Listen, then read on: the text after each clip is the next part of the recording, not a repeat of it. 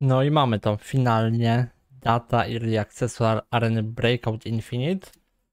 Um, można powiedzieć, że to jest premiera gry już. Od tego momentu prawdopodobnie nie będzie żadnych wipe'ów, bo docelowo Arena Breakout Infinite ma nie mieć wipe'ów, tak samo jak wersja mobilna. Wersja mobilna działa już tam z rok czy więcej i nie miała żadnego wipe'u, po prostu będą jakieś tam sezony. Mm, no i wszystko jest zbalansowane pod to, żeby właśnie nie było tych wipe'ów. Jak ktoś nie wie, co to jest Arena Breakout, to to jest taki Tarkov Light, bym powiedział. No, gierka podobna do Tarkowa, gameplay loop jest taki sam jak w Tarkowie, tylko że jest e, trochę łatwiej. Mamy mapę wewnątrz gry, mamy pokazane ile dany itemek jest warty i tak dalej, i tak dalej. Także taki łatwiejszy Tarkov. Um, zoptymalizują tę grę też. I najniższa karta to będzie GTX 960 ponieważ w ostatnich testach, jakie były Areny Breakout, to nie wpuszczało chyba poniżej 2070. Tam trzeba było obejście zrobić e, w rejestrze systemu i dopiero wtedy można było odpalić grę. No i co dostaniemy? Będzie ten Early Access to będzie tak jakby sezon 0 i dostaniemy nowego bossa, nową mapę, czyli będą trzy mapy. Na testach mieliśmy Farmę i Wally i teraz będziemy mieli jeszcze Armory mapkę. Mm, Za chwilę sobie zobaczymy, jak, to, jak ta mapa wygląda na mobilce. Chyba, że będzie. O, jeszcze trailer będzie można zobaczyć, bo chyba wypuścili trailer. Em, trzy nowe bronie: M10, AR57. Może to trochę przybliżę. Mm. Kurde, trochę za blisko, za bardzo. O. E, AR57 i Scar. Jakieś nowe kewy, nowy hełmik, słuchawki, nowe feature'y. Dostajemy Killcama, Spectate'a i pogodę. Kilkam, jest, kilkam to jest to, czego w Tarkowie nie ma i prawdopodobnie nigdy nie będzie. Okay, bo... Dobra. E, to jest z nowych rzeczy, które dostaniemy.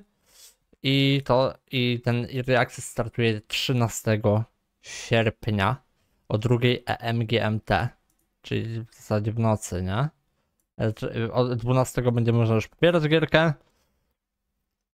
Ale z tego co wiem, early, ten Early Access nie będzie chyba na Steamie. Będzie trzeba wejść na ich stronę i stąd pobrać launchera i dopiero wtedy będzie można grać. No i tutaj sobie jeszcze obejrzymy trailer tego. Present Morphan Studios. Dark Zone. Może trochę głośniej dam.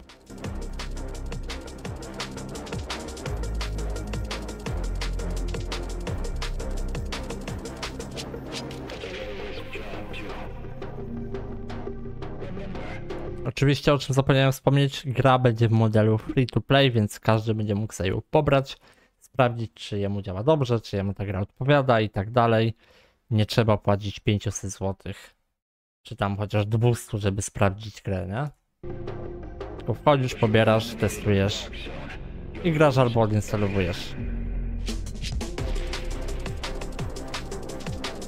I teraz e, ludzie będą pewnie obrońcy Tarkowa będą płakać, że o, będzie tyle cheaterów, bo gierka free to play, no Tarkov nie jest free to play, jest tyle cheaterów.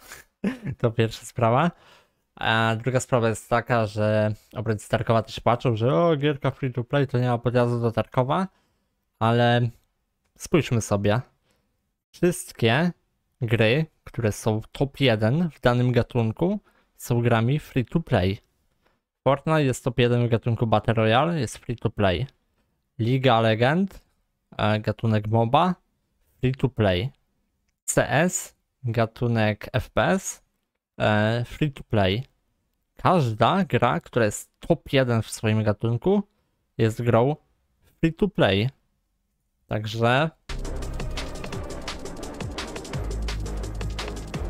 nie płakałbym na to.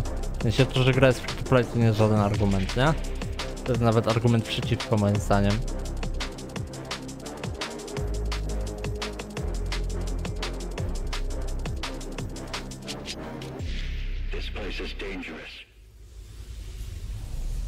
Arena Breakout Infinite. 13.